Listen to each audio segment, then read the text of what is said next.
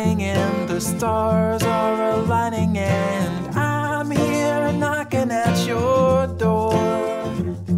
It's two in the morning, and we both should be snoring, but you're far too lovely to ignore. So let's go out and raise some hell. Do what you want,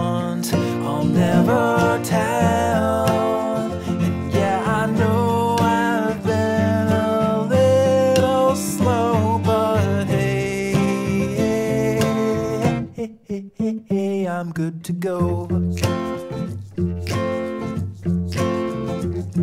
I'm snared and I'm smitten like a scared little kitten, but I'm not